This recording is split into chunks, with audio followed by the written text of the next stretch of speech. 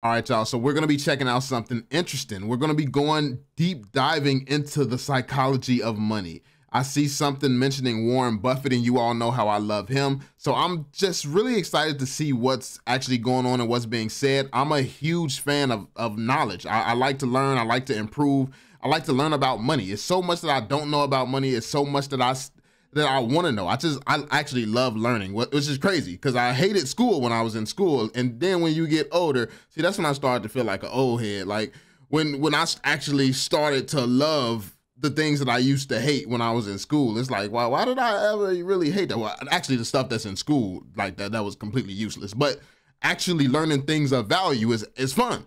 So, there, that man said, y'all, we're gonna check out the video, man. Be sure to drop that thumbs up, subscribe to the channel, and turn on notifications so you stay updated. And yeah, let's jump into it, y'all. Money. Some have it, some don't. Some have mastered it, but most are still chasing it. You may think of money as just numbers and spreadsheets and math, or an equation that needs to be solved. But the real financial decisions are made far away from calculators, around dinner tables with ego, pride, fear, and personal history. The true nature of money is the dance between the cold arithmetic of a spreadsheet and human nature. When it comes to money, we're complicated creatures, and financial success is not so much about how much you know, but how you behave. This video was inspired by Morgan Housel. See, I like to think on stuff like that. It's not about how much you know, but how you behave. And like that's something that probably would have went over my head not long ago, actually. But what one thing that I realize is you all know that I'm on the I've been on this health journey, I've been on this finance journey. The thing is, like, it's about staying disciplined and actually consistently doing the things that you're setting out to do. Because the hardest thing is once that money starts coming in, doing the right thing with it. Because you work so hard to get to a level where you make a certain amount of money. So when you're making a certain amount of money, it's like ah okay let me take my foot off the gas. We finally doing it. Let let me let me chill out now. But the second that you chill out that consistency stops. So all the work that led up to you getting to where you are the second that you stop now it starts to go down. So you gotta ramp it back up again and it's like a, a repeating cycle of you starting over. And depending on how far you let something fall you gotta start completely over um, and that that's often what happens with health. I know I struggle with that when it comes down to health because when I get stressed out, I don't smoke, drink, nothing like that. So my my vice is, you know, food. So yeah, that's one of the things that I struggle with personally. So yeah, that that that was a deep quote, man. That was a very deep quote. Just wanted to, you know, talk a little bit about that because this is very, very important, man. Because your behavior dictates everything in life, man. You got to change your mind. You got to have a healthy mind, and you have to be strong enough to fight against whatever addictions you have, because we all have some. It's just, I mean, yeah, it's life. So much about how much you know, but how you behave. This video was inspired by Morgan Housel's amazing book, The Psychology of Money. Let's delve into the strange and human side of money.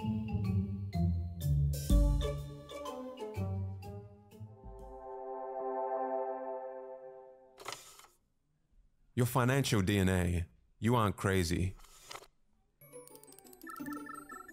We all come from different generations, with parents earning different incomes and holding different values, living in various parts of the world, born into different economic environments with varying incentives and varying opportunities. We all have very different experiences towards money. Take for example the stock market and inflation. People born in 1970 saw an almost tenfold increase in the S&P 500 during their teens and 20s, leading most to have a positive view of the stock market and a higher inclination to invest. People born in the 1950s, however, saw the stock market go nowhere in their teens and 20s, leading to a more negative view of the stock market and less inclination to invest.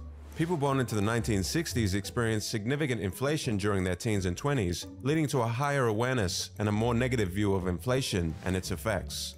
People born in 1990 experienced relatively low inflation during their lifetime, leading to less concern and awareness of its effects.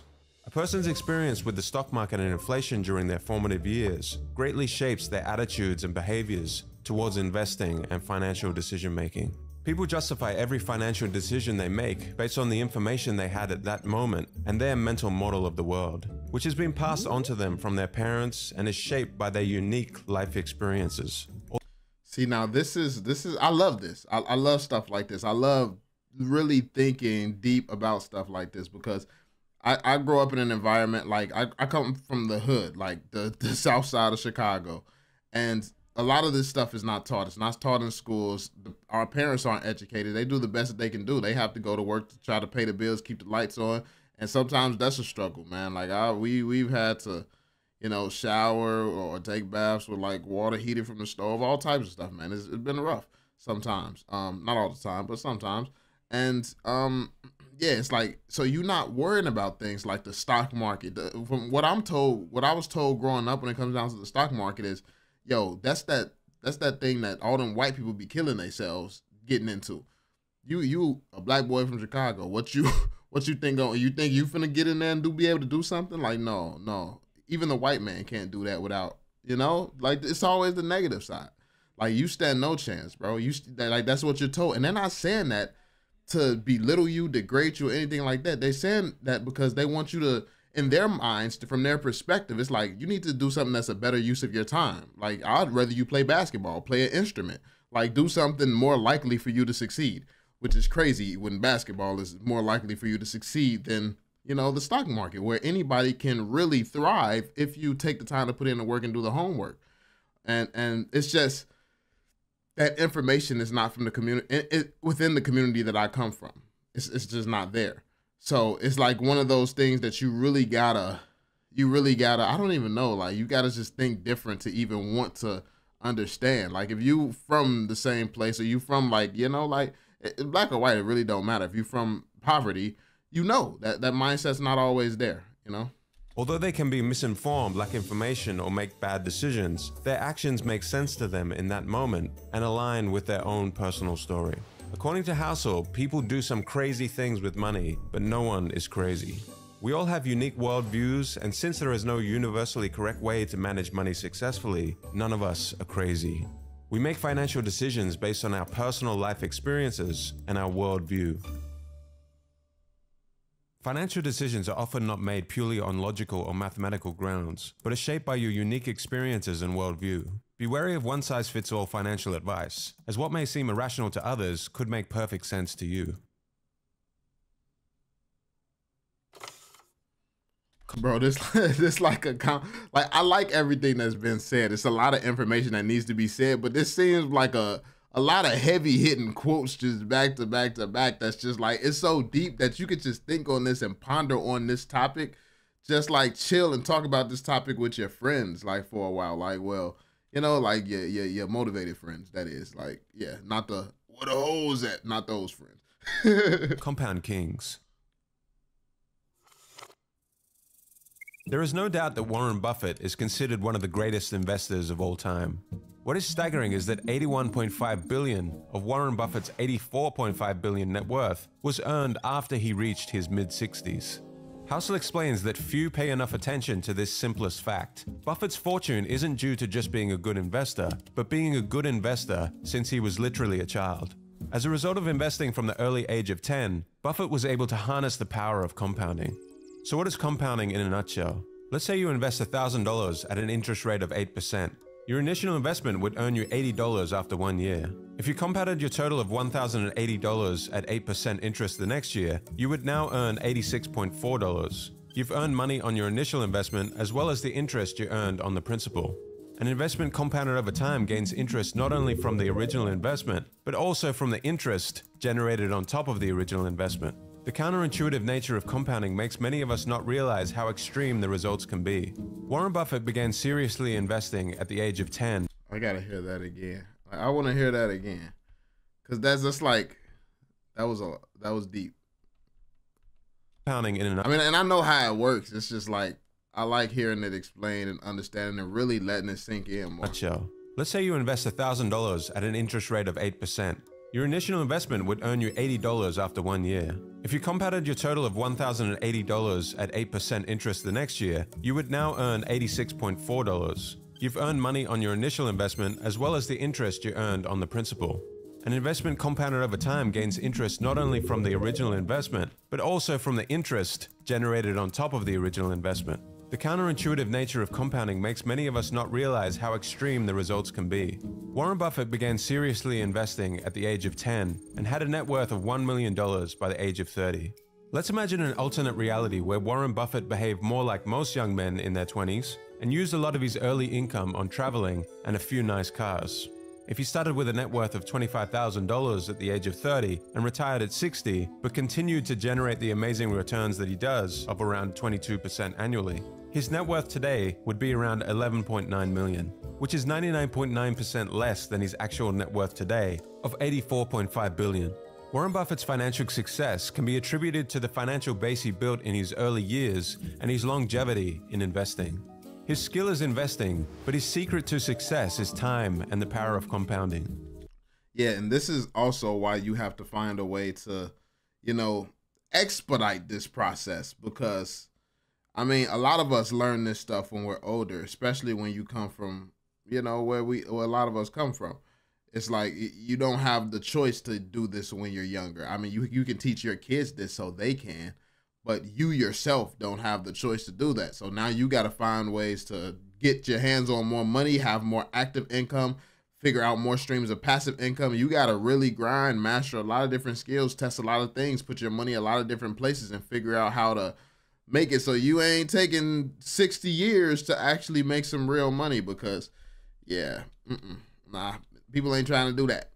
Consider this from another perspective. The richest investor of all time is Warren Buffett. However, in terms of average returns, he is not the greatest. Jim Simons, for instance, is a hedge fund manager who has compounded money at a staggering 66% annually since 1988, a much higher rate than Buffett. The net worth of Simons, however, is 21 billion, which is 75% less than Buffett's. How is this possible? According to Housel, the reason for this is that Simons wasn't able to find his stride in investing until he was 50 years old, effectively giving him less than half as many years to compound as Buffett. Housel estimates that if he had invested over a time frame as long as Buffett, his net worth today would be 63 quintillion, 900 quadrillion, 781 trillion, 780 billion, 748 million, 160,000 dollars. It's important not. Those real numbers, bro. Like I think they just be like, you ain't got to do that, bro. You could. It, it, it was a lot. Like that was crazy. To underestimate the power of compounding, no matter how counterintuitive the results of compounding may seem, they should never be ignored. People often focus on short-term gains, overlooking the long-term impact of compounding. Understanding and leveraging the power of compounding is crucial for long-term financial success. It's not about making quick high returns, but about consistent long-term growth. Pessimism and money. Optimism is a belief that the odds of a good outcome are in your favor over time, even if there are setbacks along the way.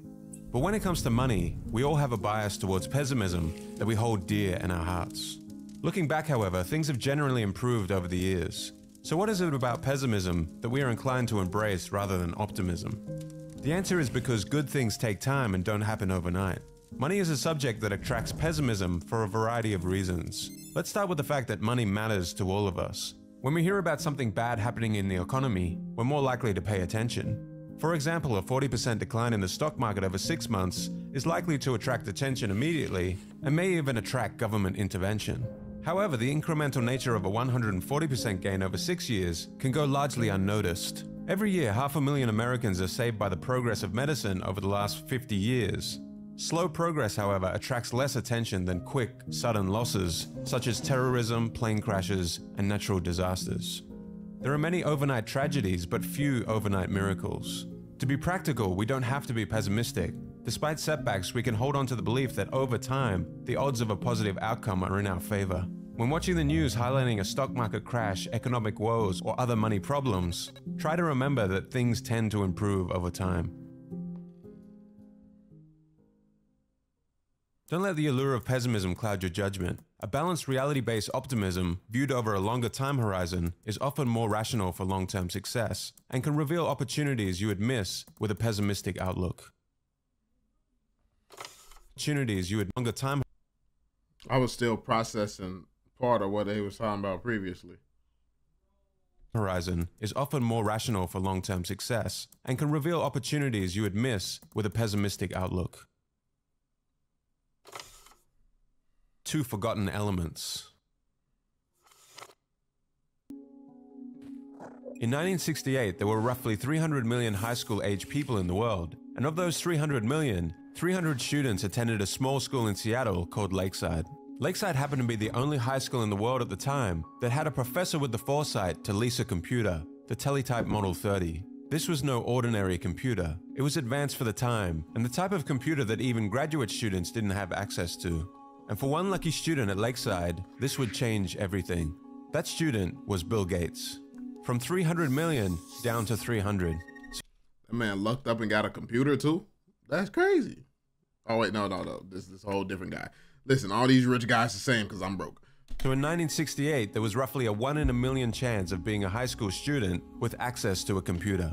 Bill Gates and his schoolmate Paul Allen would go on to create Microsoft together. Even as a teenager, Gates showed exceptional intelligence, hard work, and a vision for computers unlike anyone else. But going to Lakeside also gave him a one in a million competitive advantage and head start.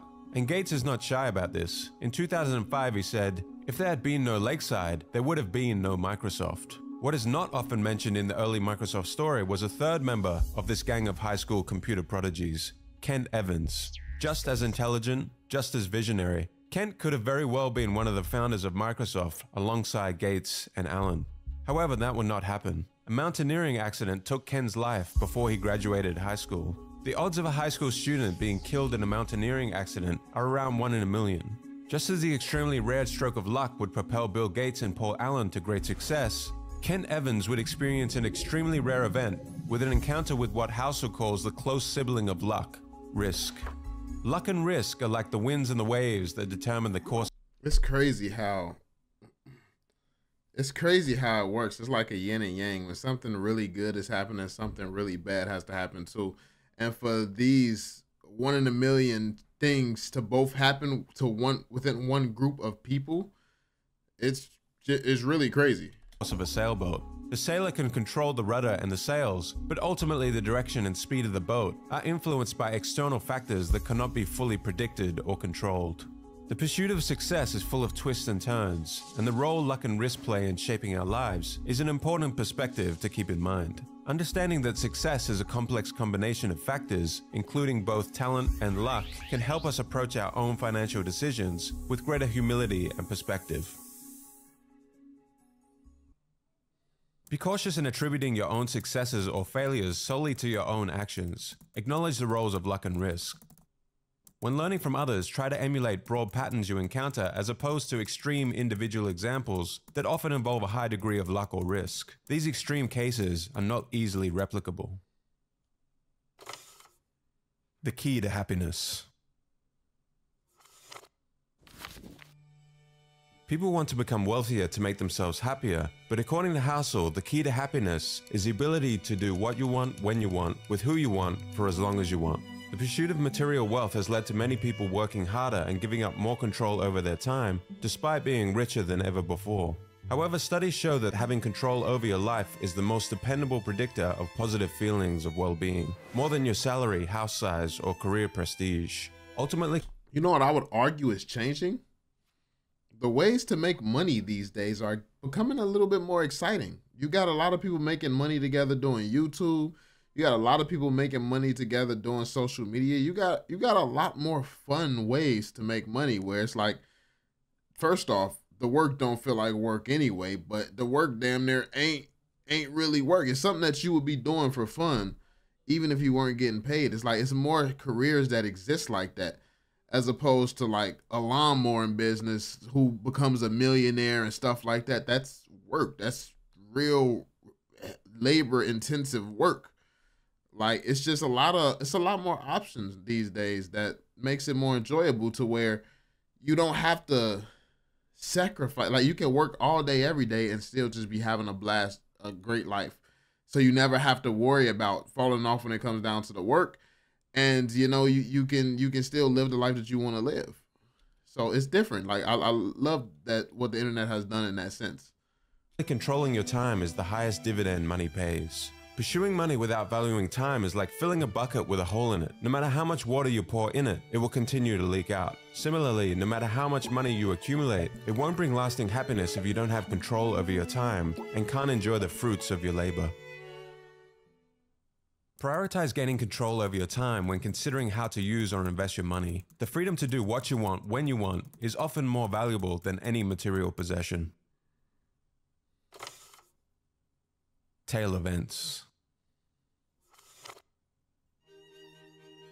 Heinz Berggruen, a man who fled Nazi Germany and settled in America, became one of the most successful art dealers of all time. He collected a massive amount of art, including works by famous artists like Picasso, Klee, and Matisse. In 2000, he sold part of his collection for over 100 million euros. But what was his secret to acquiring so many masterpieces? Was it skill? Was it luck? According to Horizon, a research firm, great investors buy vast quantities of art and hold on to them for a long period of time. They wait for a few of those paintings to become well known and worth a lot of money, even though most of the paintings they bought were not worth very much. In other words, it's not about being right all the time, but having a diversified portfolio and waiting for just a few winners to emerge. That sounds like almost every financial market that there is. I didn't know that that's how that how that worked. Same with like Pokemon cards. Same with you know, same with a lot of things in life actually, like crypto. Like you just buy a whole bunch of stuff and and your winners usually outweigh the losers. Perhaps 99% of the work someone like Berggruen acquired in his life turned out to be of little value. He could be wrong most of the time, but that doesn't particularly matter if the other 1% turns out to be the work of someone like Picasso. These events are known as long tails, when a small number of events can account for the majority of outcomes. The long tails of Berggruen's art collection are what led to his ultimate fortune. The story of Berggruen teaches us a valuable lesson about investing, and this long tail concept also applies to many aspects of business and investing. The obvious example is venture capital. Most of the startups in a VC fund will fail and lose money for the fund, but all they need are a few outlier startups, which make 20x returns, to make up for these losses. Take Amazon for instance. In 2018, it drove 6% of the returns on the S&P 500, even though it is just one company. And if we look inside Amazon, its growth was largely driven by two tail events Amazon Prime and Amazon Web Services. These two products alone more than made up for all of Amazon's less successful experiments, such as the Fire Phone or travel agencies. After the disastrous release of the Amazon Fire Phone, rather than apologizing to shareholders, Jeff Bezos said, If you think that's a big failure, we're working on much bigger failures right now. I'm not kidding. Some of these are going to make the Fire Phone look like a tiny little blip. Bezos understands that it's okay to make mistakes and fail with most products if the process creates the 1% of tail event products that drive everything. Tail events are mostly unintuitive and hidden from us. I want to hear that again. I'm not kidding. Some of these are going to make the Fire Phone look like a tiny little blip. Bezos understands that it's okay to make mistakes and fail with most products if the process creates the 1% of tail event products that drive everything. Tail events are mostly unintuitive and hidden from us because we only see the finished products and not all the failures along the way that led to that finished product. Housel in the book uses a real life example of a stand up. That is very deep. That that's very deep. We don't never really notice like the tail events like but they they become huge. They become like Housel. Everybody probably well a lot of people especially if you're in tech have heard of AWS and stuff like that. But it's like you know all the other stuff like i ain't never heard of that phone. Like the I, like which probably would explain the failure there but yeah it's like i don't you don't hear much about the the failures and and the successes aren't necessarily praised it's just something that you know the name of amazon prime you know what that is. It's like that makes sense it really makes sense when you put it into that perspective. You don't know how many times they failed behind the scenes but the wins make make up for the failures you know way way more. Up comedian when you're watching the Netflix special, you're probably saying to yourself, wow, this comedian is amazing and hilarious. But what you aren't seeing are all the trial and error failed jokes that the comedian tried out in small clubs all around the country before doing the special. The Netflix special is the 1% compendium of all the tail event jokes that actually made people laugh. 99% of the jokes along the way were probably just okay. When it comes to investing, even though long tails are prevalent, most of us ignore them. When things go wrong, we tend to overreact. As soon as you accept that tails drive, most of us ignore probably just okay. When it comes to investing, even though long tails are prevalent, most of us ignore them. When things go wrong, we tend to overreact. As soon as you accept that tails drive everything in business, investing, and finance, you realize lots of things may go wrong, fail, or fall apart. Remember, out of nearly 500 stocks Warren Buffett has picked, only 10 have made the majority of his money. Good stock pickers will only be right half of the time. Good leaders will only make good decisions half of the time. The fact that you might be wrong sometimes doesn't mean that things won't work out over time. In the end, the outcome can be determined by only a small number of events.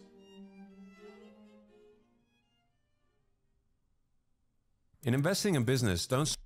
That was a lot of great information. Like I, I think that all of these is just so heavy hitting and so heavy hitting and full of like knowledge and information and stuff that really make you think. Like this is one of those ones that you can watch multiple times and really still get value from. This is a really really good video. A really good video, man.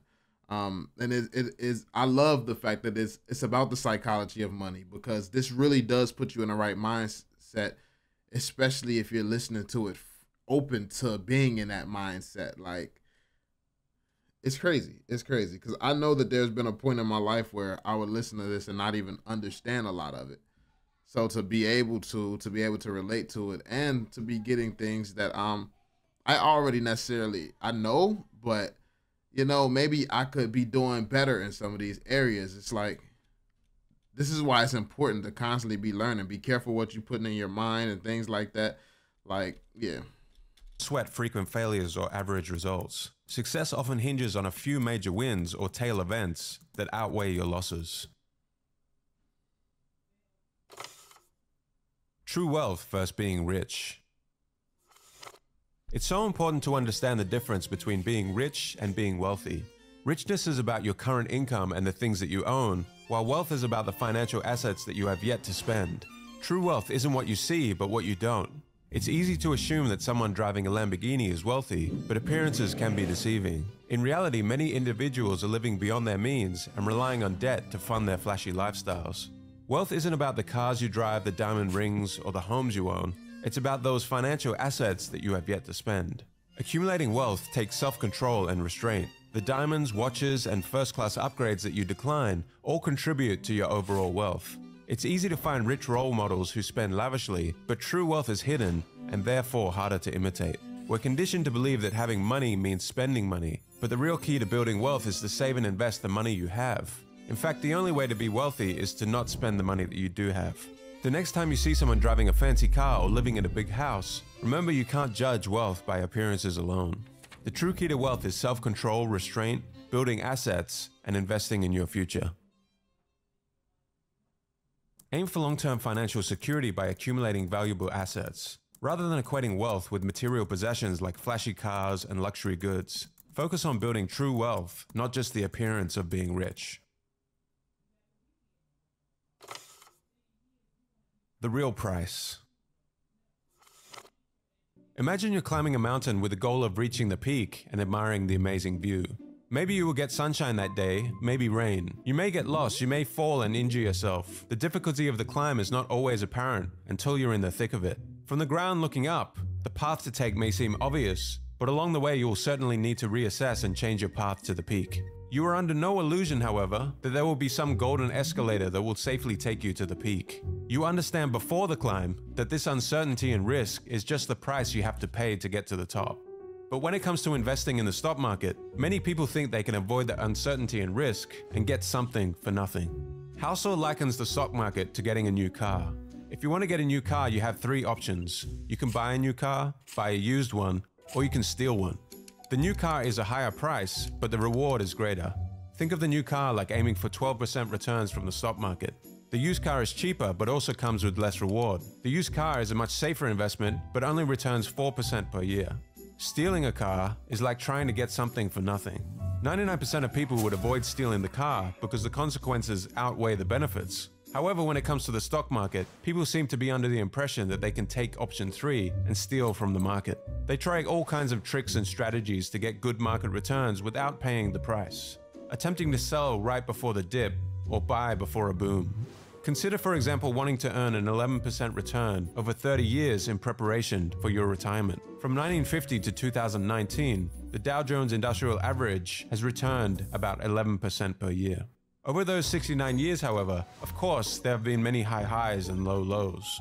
For many, the sight of their investment going up and down can be traumatic, so they try to get in and out quickly without paying the price of volatility and uncertainty over the long term, akin to trying to steal the car. The price you must pay is not just about dollars or cents when investing, it's about accepting the emotions that volatility, fear, and risk can bring. Recognizing that successful investing comes with a price is crucial. The price is not immediately obvious, but you have to pay it, just like you would for any other product what this has really put on my mind is I want to study the history of crypto. Like, because obviously I believe that crypto is the future, but it doesn't have the same history as the stock market.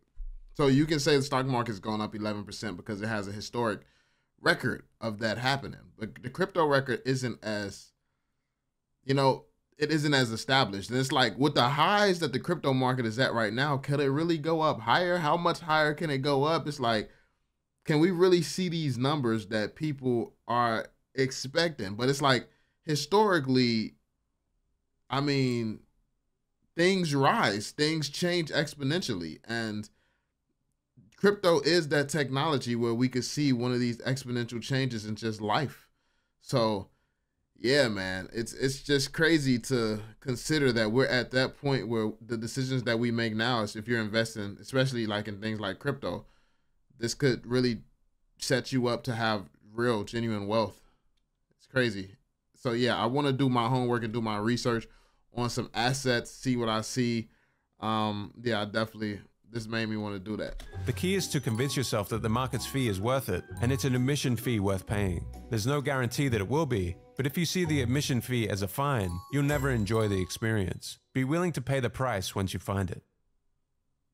View market volatility as an admission fee for the potential of higher returns, rather than as a fine for doing something wrong. This mindset will help you stick with your investment strategy for longer time periods and during tough times.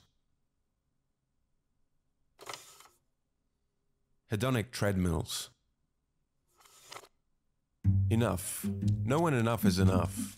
Become familiar with the concept of hedonic adaptation or the hedonic treadmill. Every time you hit the goal, you keep moving the goalpost further ahead. You need only look at the demise of Bernie Madoff and Gupta, two men who already had everything and were ultra wealthy, but all the money in the world would never have been enough, both resorting to crime to make even more money. The pursuit of wealth and success without a sense of knowing when enough is enough is like climbing a never ending ladder. No matter how high one climbs, there is always another rung to reach for, and the pursuit can become all consuming, leading to a lack of happiness and fulfillment. Set a stable goal for what enough means to you, Otherwise, rising expectations will keep you perpetually unsatisfied and prone to needless risks. Be aware of the pitfalls of social comparison. Instead of endlessly comparing yourself to others, focus on what truly brings you happiness and fulfillment. Alright, so yeah, this was actually a really, really good video, man. So much information in this one, packed, packed full of, full of great, great content, man. So yeah, that's pretty much it, man. We're gonna end the video right here. Uh, I, I love this video, man. Um, yeah, but that's pretty much it. Let me know your thoughts in the comment section down below. Be sure to drop that thumbs up, subscribe, and turn notifications if you are new, and I will catch you all on the next one, fam. Peace out, yo.